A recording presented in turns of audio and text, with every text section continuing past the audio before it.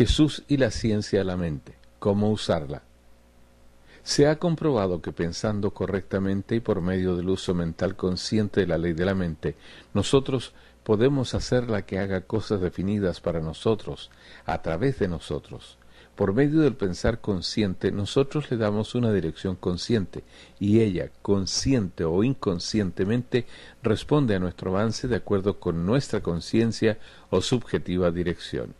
Ella debe y responderá a todos porque ella es ley, y la ley no hace diferencia de personas. Nosotros estamos rodeados por una fuerza y una substancia inteligente de la cual vienen todas las cosas, la máxima esencia en el mundo invisible y subjetivo de todas las formas y condiciones objetivas. Está alrededor nuestro en su estado original, lista y dispuesta a tomar forma a través del impulso de nuestra creencia creativa. Trabaja para nosotros, fluyendo a través de nosotros.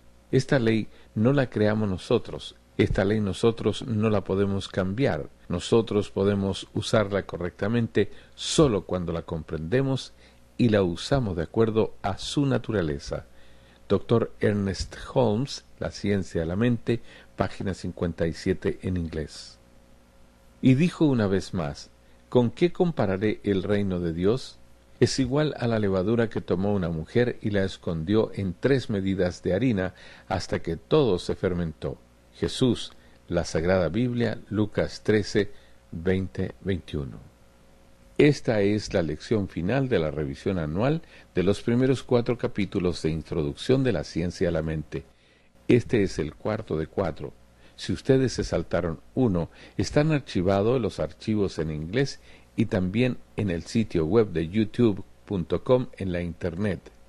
En este capítulo damos una mirada más profunda al principio de la vida que el Dr. Holmes resumió de las palabras del radical Jesús y aprendamos cómo usar el poder que habita dentro de nosotros. En el primer párrafo de este capítulo, el Dr. Holmes nos previene que nosotros debemos practicar la verdad que nosotros conocemos, eso es, debemos conscientemente hacer uso de las prácticas espirituales que hemos llegado a saber y comprender. En las escrituras nosotros podemos leer, oren sin cesar, y en esto nosotros sabemos que debemos estar conscientes de los pensamientos que albergamos, las ideas que aceptamos como verdad y las creencias que nosotros mantenemos como la verdad. Ahora, yo no estoy implicando aquí que nosotros deberíamos buscar ser perfectos, sino, en vez, buscar perfeccionar aquello que nos concierne. Encontraremos que nosotros siempre tenemos la habilidad de corregir nuestros errores y armonizarlos con el bien.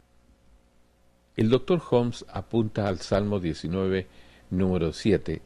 La ley del Señor es perfecta, y en esto nosotros sabemos que cuando alineamos nuestros pensamientos con Dios, con el bien, entonces todas las cosas que nos conciernen serán perfectas. Tal vez no espontáneamente, pero siempre en el momento y el tiempo perfectos.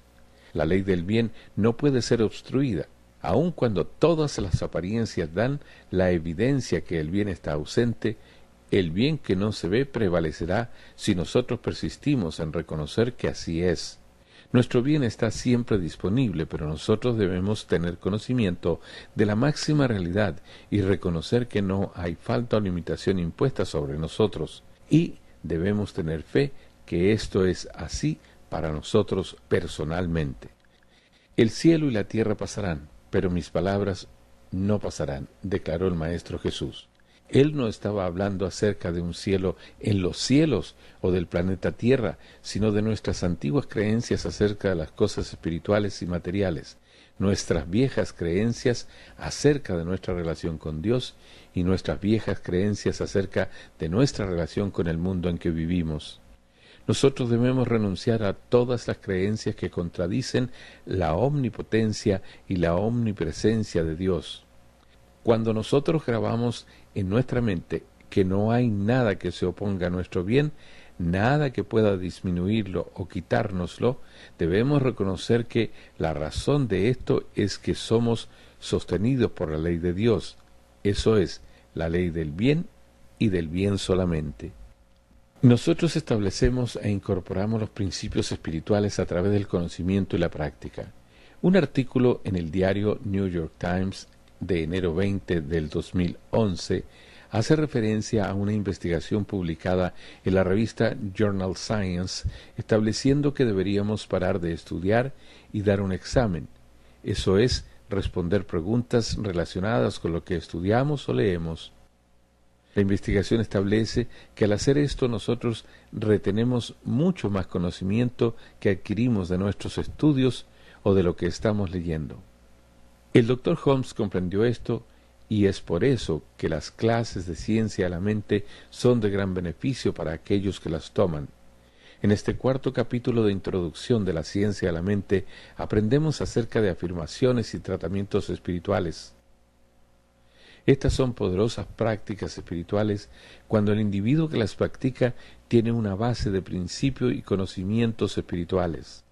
Esta base se refuerza tomando consistentemente clases que requieren que nosotros nos preguntemos ¿qué sabemos? y que usemos diariamente las prácticas espirituales que hemos aprendido. No es suficiente para nosotros decir que Dios es todo y todo es bueno, a menos que comprendamos la poderosa verdad de lo que afirman esas sencillas palabras. Lo que sabemos de la verdad es nuestro conocimiento de la verdad que hemos experimentado. Nosotros debemos comprender que Dios es el único poder, la única inteligencia y la única presencia. La mente maestra Jesús comprendió esto como también Buda, Krishna y todos los grandes místicos. Comprendamos estas palabras del libro de Jeremías, Jeremías 23, 23 y 24 en las antiguas escrituras. ¿Soy yo un Dios a la mano, dijo el Señor, y no un Dios allá lejos? ¿Puede alguien esconderse en un lugar secreto que yo no lo vea? dijo el Señor. ¿No estoy yo en el cielo y en la tierra? dijo el Señor. Teniendo conocimiento de estas palabras de verdad, el Maestro Jesús claramente nos dirigió a poner atención a Dios, Dios dentro de nuestra mente. No me llamen bueno, dijo él, solo el Padre es bueno y es el Padre que hace el trabajo. Y entonces debemos dejar al Padre, que es el Espíritu, trabajar a través de nuestra conciencia y a través de nuestros pensamientos, creencias y palabras de la misma manera que Jesús, Buda y Krishna lo hicieron. Y para hacer esto, nosotros debemos llevar lo que sabemos a un nivel más profundo que el intelecto. Y hacemos esto con la práctica de la oración afirmativa. La mayoría de la gente no se da cuenta que el Maestro Jesús solo enseñó su filosofía por cerca de tres años, empezando a los treinta.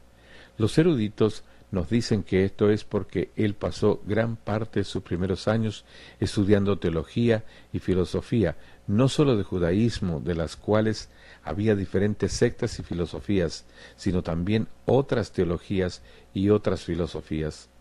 Lo que él enseñó él lo simplificó de manera que aún los niños pudieran comprender los conceptos claves de su filosofía y creencias.